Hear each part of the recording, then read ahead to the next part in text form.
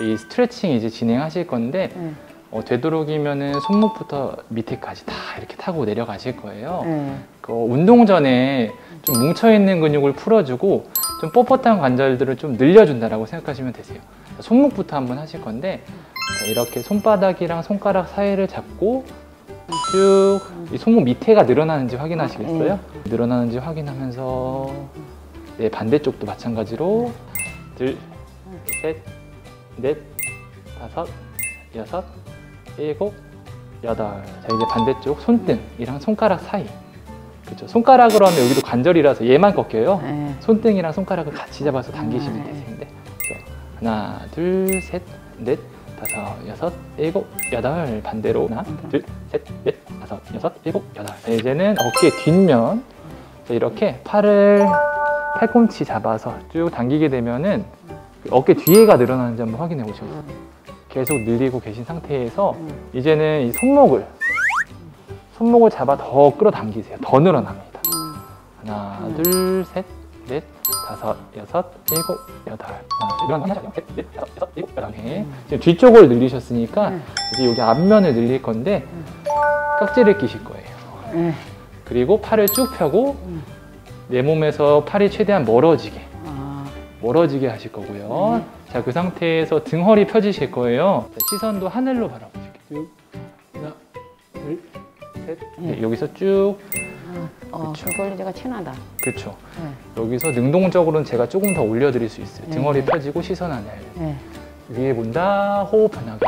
5, 4, 3, 2, 1 됐습니다. 이제 한 팔을 이렇게 위로 들어서 자, 여기서 네. 이제 네. 손목을 잡고 자, 이렇게 누른다 생각하세요. 그렇죠. 누른다. 그 다음에 팔꿈치를 잡으실 거예요. 팔꿈치 잡고 다시 똑같이 누른다. 이 삼두 부위랑 이 등 부위가 어, 그거 시원한데요? 그쵸. 8, 7, 6, 5, 4 늘어나는 거 확인하시고요. 네.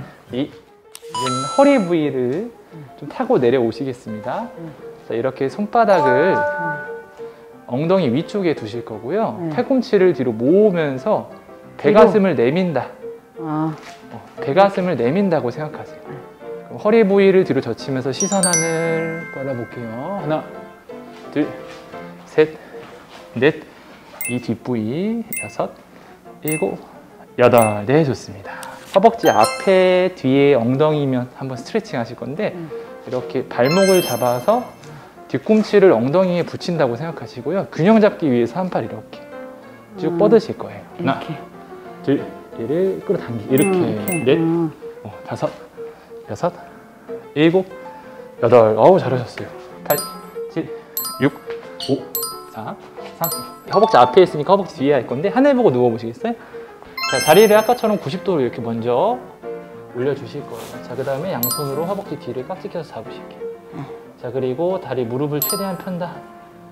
자, 이제 발바닥은 천장을 바라보게 쭉 당기세요. 그렇죠. 아. 여기서 무릎이 구부러지고 싶으실 거예요. 그렇죠? 네. 계속 나랑 싸운다고 생각하세요.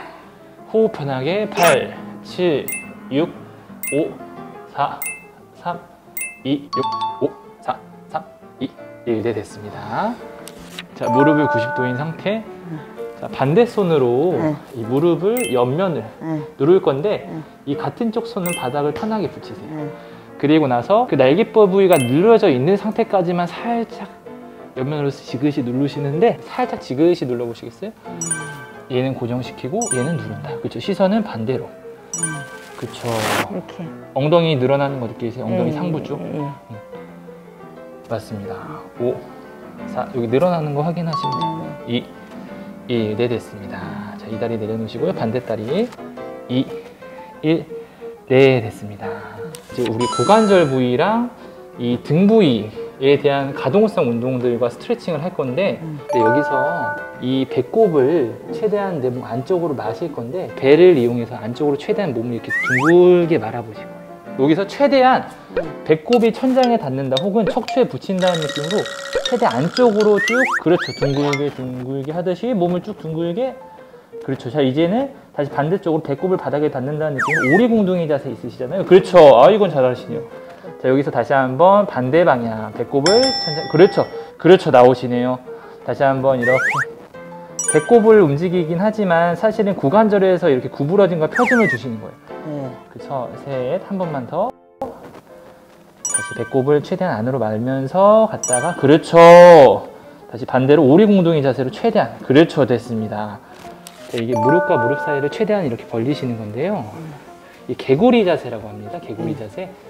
최대한 무릎 안쪽이 바닥에 터치가 되고 자 팔은 쭉 뻗어서 자 이 상태에서 내 다리 사이 양다리 사이로 몸을 살짝 넣으실 거예요. 쭉 그렇죠. 넣었다가 올라왔다가 쭉 넣었다가 그렇죠. 올라갔다가. 자 이제는 최대한 내려갈 수 있는 지점에서 자, 이 팔꿈치를 이렇게 대실게요. 자 여기서 방금 전에 했던 오리공둥이 자세를 만들어 보시는데 여기서. 반대 방향으로 그렇죠. 여기 되시네요. 어 유연성 좋으세요. 자그 다음에 다시 팔을 처음처럼 쭉 뻗어 주실 거예요. 자, 이렇게 발바닥이 하늘 바라볼 수 있게 다리 회전 동작을 할 건데 절대 이렇게 안 되실 거예요. 다시 한쪽씩 이렇게 발바닥이 하늘을 바라본다는 느낌으로. 예 맞습니다. 오 되시네요. 네. 우측 다리 이렇게 그렇죠. 네 좋습니다. 다시 내리고. 자, 반대쪽. 한 번씩만 더 하실게요. 내리고. 그렇죠. 네. 자 이제는 옆으로 한번 누워 주실 거예요.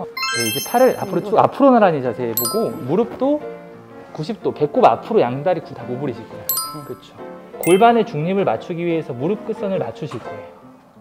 자 이제 앞으로 나란히 한 상태에서 자 팔을 하늘로 올려 보실 건데 천장 쪽으로 자 이제 여기서 무릎이 벗어나지 않게 계속 고정을 하셔야 돼요. 네. 팔을 넘기고 시선은 여기 좌측 손끝을 바라보시겠어요? 좌측 손. 여기 이쪽 끝 그렇죠 여기를 쭉 이 등 부위에 대한 허리 부위에 대한 스트레칭 되는 느낌 있으세요? 네.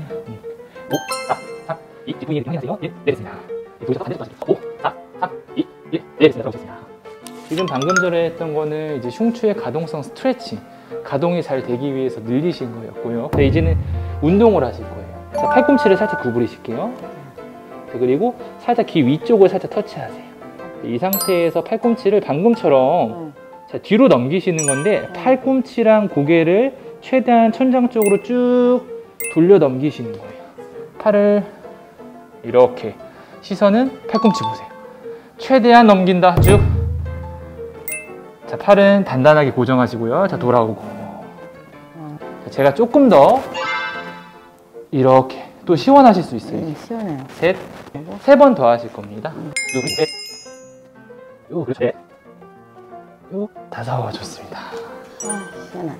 자, 가볍게 이렇게 구관절이랑 흉추 관절에 대한 부분들 스트레칭이랑 운동을 가볍게 진행해 보셨어요. 일반적으로 시니어 분들은 대부분 이 몸이라는 거를 잘 쓰지 못하세요. 우리가 젊을 때랑은 다르게 불편한 데도 생기고 아픈 데도 생기면서 내 몸의 움직임들이 많이 활동적인 부분들이 제한이 되시거든요. 그렇다 보니까 스트레칭을 하지 않고 운동을 진행하게 되면은 그런 부분들에 대해서 부상으로 이어질 수가 있기 때문에 절대 스트레칭을 하지 않고 운동기구를 잡으시면 안 됩니다.